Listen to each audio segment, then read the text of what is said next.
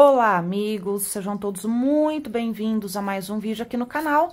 Eu sou a Juliana Castro e vamos tirar um conselho para nossa vida amorosa nessa jornada gostosa que eu estou fazendo pelos 78 arcanos do tarô. Meus amores, se você é novo por aqui, se inscreva no canal, deixa seu like não custa nada. Larga esse dedo aí no like. Me ajude a fazer com que esse canal cresça, que esse conteúdo, principalmente, que é tão pequenininho, mas que pode ajudar tanta tantas pessoas, né? Que esse conteúdo chegue numa gama maior de pessoas. E a forma disso acontecer é só você deixar o like. Não vai te custar nem um segundo, tá bom? E aí, se você é novo por aqui, se inscreva, ative o sininho de notificação, mas também vai na lista, na playlist, aonde já se apresentou todos os arcanos, né? Que já estão aqui dentro da caixinha.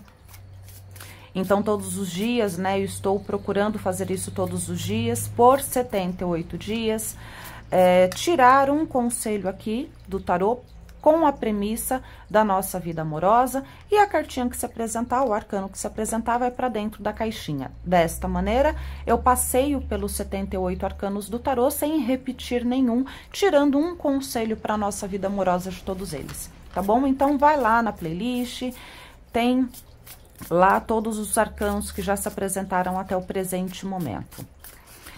Então, vamos lá ver o que, que o tarô nos aconselha no dia de hoje. E aqui eu desejo perguntar ao tarô o que eu devo fazer, o que seria próspero, auspicioso, qual seria a melhor conduta para se ter na minha vida amorosa. Então, vamos lá ver qual é o conselho que o tarô nos apresenta.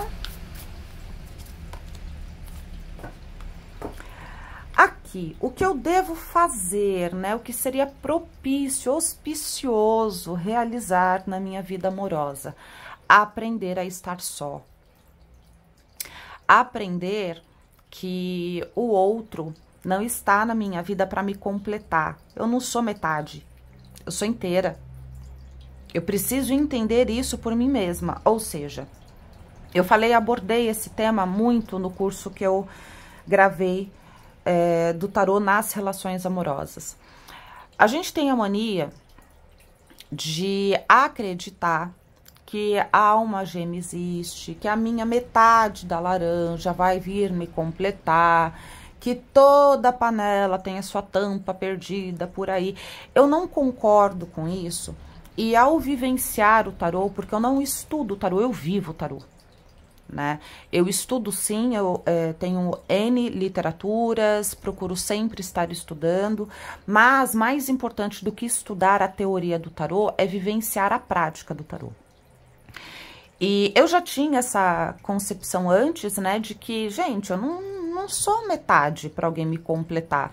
É bacana ter alguém super, né? Quem que não gosta de amar e ser amado? É muito bom, né? Mas isso não me deixa, se eu não tenho, não, não me deixa pela metade, não. Então, não conseguia é, aceitar essa questão de metade da laranja, sabe? E aí, vivenciando o tarô, isso se fortificou ainda mais dentro de mim, porque tem algumas cartas que falam muito dessa questão da gente se ver completo só, de você ser a sua melhor companhia. Perceba que aqui uma mulher está desnuda, né, despida de roupas, de imposições sociais, que é o que para mim as roupas significam nos oráculos, né? A minha postura e posição social, socioeconômica. Aqui ela está desprovida de estudo e ela está com o ego dela em equilíbrio, ela sabe quem ela é, ela se enxerga e por si só ela se basta. Quando a gente tem a crença de que eu sou metade sem ter alguém na minha vida, quando aparecer alguém na minha vida, a minha tendência vai ser sobrecarregar essa pessoa, porque eu vou querer obrigar que essa pessoa me complete.